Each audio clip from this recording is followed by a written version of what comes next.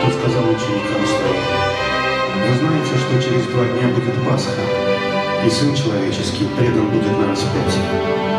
Тогда собрались первосвященники и книжники и старейшины народа во двор первосвященника по имени Каиафы и положили в совете взять Иисуса хитростью и убить. Но говорили только не в праздник, чтобы не сделалось возмущение в народе.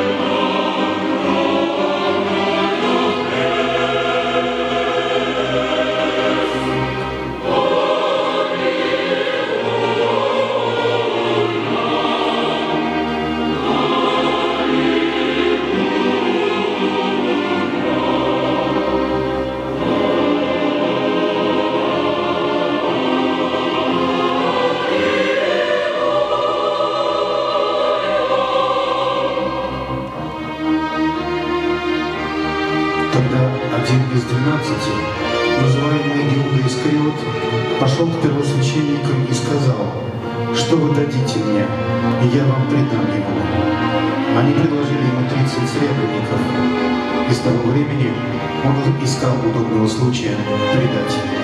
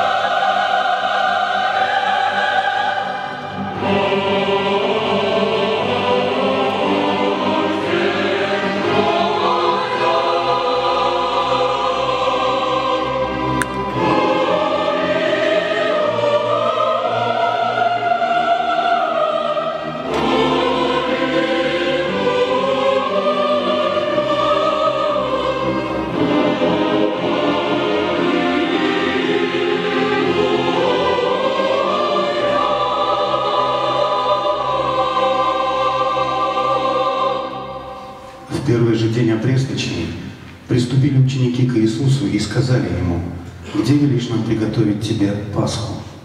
Он сказал, «Пойдите в город к такому-то и скажите ему, Учитель говорит, время мое близко. У тебя совершу Пасху с учениками моими». Ученики сделали, как повелел им Иисус, и приготовили Пасху. Когда же настал вечер, он возлег с двенадцатью учениками, и когда они ели, сказал, «Истинно говорю вам, что один из вас предаст меня».